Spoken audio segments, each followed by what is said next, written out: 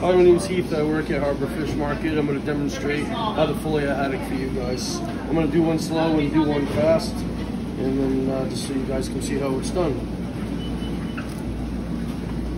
Anything else? How are you today? Good, how are you? Did you?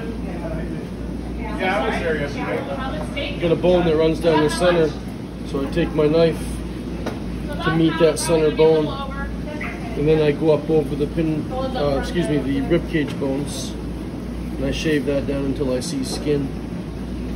And I slowly cut about an inch, inch and a half in there. Then I work my knife down over the nape, cut out through, lay the fillet over, slide all the way down the backbone.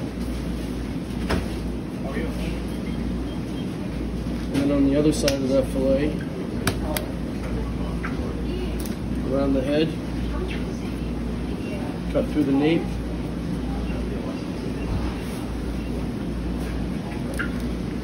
All the way up to the head, from the tail to the head, find that center bone again. Then up over the top of the rib cage bones until I find skin, see skin. And when I see that skin, I cut right down over that nape. Flip the fillet over, ride right down the bone. So when it comes time to skin these machine, uh, excuse me, these fillets, we usually use a, a skinning machine, but where I'm only cutting a, a couple of fish, I'm not gonna fire that up and get it dirty for a couple of fish. So this is how we skin them by hand. We start with the sharp part of our knife, just go down about an inch or two, then we flip our knife over backwards and use the dull part of the knife. And basically hold your hand, and your knife still, and pull the skin. Then you're left with a pretty white fillet.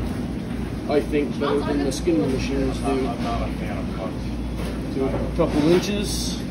Then I'm going to use the back of my knife, I have to call. pull it through.